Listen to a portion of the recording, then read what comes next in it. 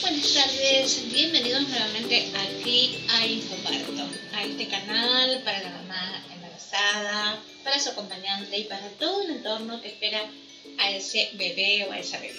Vamos a hablar hoy de algunas cosas que tenés que conocer, que debes de conocer, que ya no se hacen más, hace muchos, muchos años y que por ahí te toca, que cuando vas a tener a tu bebé lo quieren hacer o podés preguntar con anterioridad si se realizan estos hechos que ya no se usan más porque por evidencia científica no servían para nada. Me refiero especialmente al enema, sí, hasta hace pocos años la mamá llegaba con su trabajo de parto o iba a una cesárea y se hacía un enema, tanto en hospitales como en clínicas. Se consideraba que al estar el intestino desocupado, sí, era mejor para el parto, se daba más espacio a la cabecita cuando bajaba, ¿sí?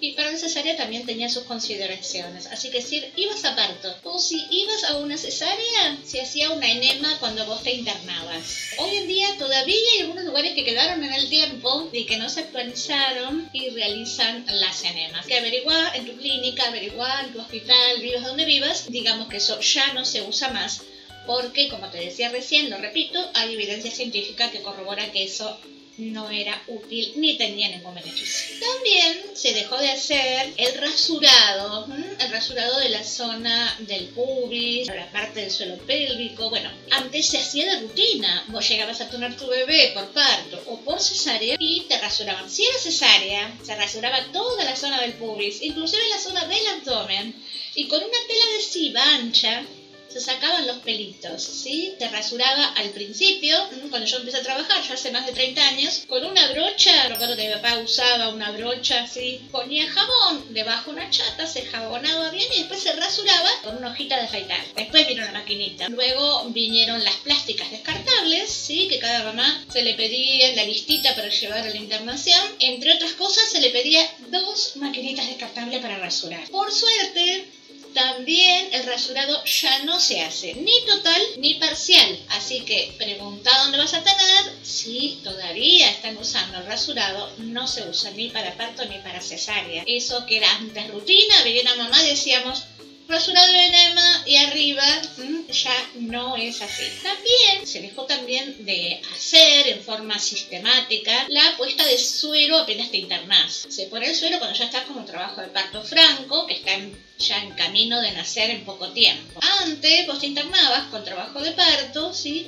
E inmediatamente se ponía una vía. Igual la vía no es que vos tenés que estar quietito porque es como una conductito de plástico por donde se pasa medicación. Y también se dejó de hacer en forma rutinaria la episiotomía. ¿Qué es la episiotomía? Es un cortecito que se hace cuando el bebé está coronando, está por salir la cabeza ¿sí? Y para que no se produzca un desgarro hacia la zona anal, se anestesia hacia un costado y se hace un corte. No se hace de rutina, pero tampoco se puede decir no te lo vamos a hacer o vos lo podés pedir. ¿Por qué? Porque eso depende de la dinámica del parto, hasta que el bebé corone, no se sabe si va a dar ese periné, si va a dar, si va a ser tan elástico como para que el bebé pase.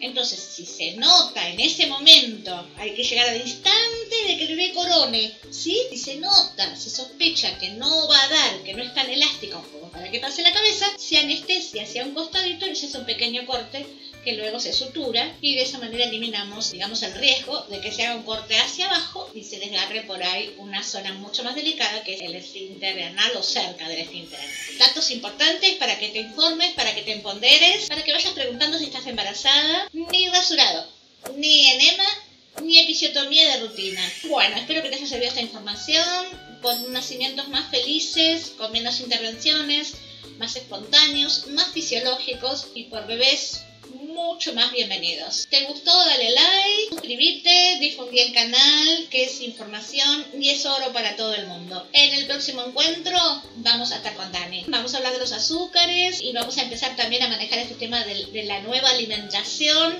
no solamente para nuestros bebés, para nuestros peques, sino también para nuestras familias, para un mundo mejor. Besos y gracias por estar. Gracias por todos los mensajitos y los cariños que mandan.